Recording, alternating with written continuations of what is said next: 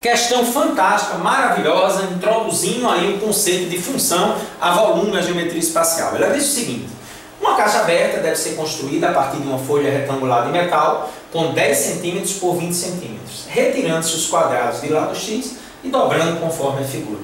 O domínio da função que representa o volume dessa caixa em relação à variável x é, olha que questão massa. Eu sei que vai formar um volume, mas é qualquer valor de x que eu posso usar? Hum, que interessante. Então vamos lá. As alternativas são essas e aí vamos começar a pensar. Observe que ao retirarmos um quadrado de lado x dos cantos, teremos as seguintes dimensões. Na hora em que você tem uma dimensão 20 e tira x de um lado e x do outro, quanto é que vai ficar aqui, gente? 20 menos 2x. Está aqui embaixo. 20 menos 2x.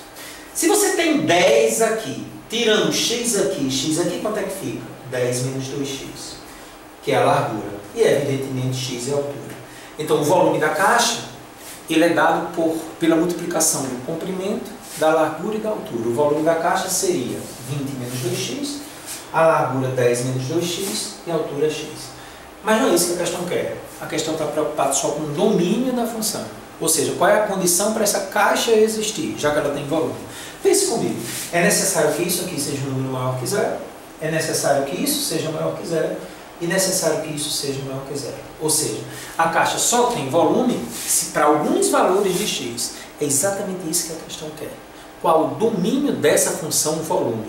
Então vamos comigo ver como é que a gente vai desenrolar. Dessa forma, para que a caixa exista, essas três dimensões precisam ser maiores que zero. Portanto, teremos, primeira dimensão, vamos comigo, 20 menos 2x maior que zero. Essa daqui, né? Ó, ó vamos voltar aqui. Ó. 20 menos 2x tem que ser maior que zero. Então vamos lá, 20 menos 2x maior que zero, cuidado, então vai ser menos 2x maior que, o 20 passa menos 20. Multiplicando por menos 1, 2x menor que 20, x menor que 10. Então essa é a primeira condição, x menor que 10, já estou representando aqui nessa primeira linha aqui, ó, x menor que 10. Segunda condição, 10 menos 2x, a outra dimensão da caixa, também tem que ser maior que zero para ela existir. Então, menos 2x maior que menos 10. Multiplicando por menos 1, 2x menor que 10, x menor que 5. 10 dividido por 2, x menor que 5. Já estou representando aqui x menor que 5. Terceiro, evidentemente, x maior que zero, porque a caixa precisa ter uma altura para que tenha volume. x maior que zero está representado assim.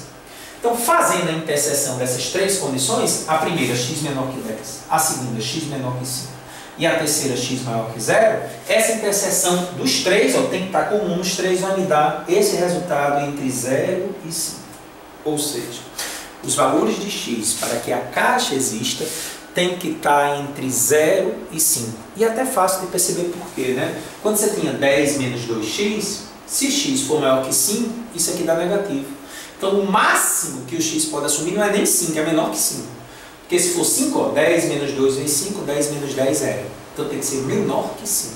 Realmente a solução vai estar entre 0 e 5. Isso é o domínio da função. Então comigo, ó, qual é o domínio da função? O intervalo em forma de parênteses 0 e 5, quer dizer que é aberto dos dois lados, ou cochetinho para um lado e para o outro, 0 e 5.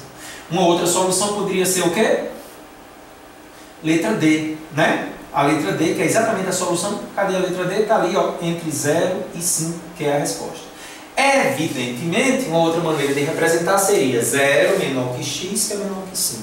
Mas as alternativas preferiam trabalhar com a notação aí típica de conjuntos. Beleza? Então, excelente questão. Domínio é a condição para que uma função exista. Não uma função exista. Não, nunca esqueça disso. Ok? Grande abraço.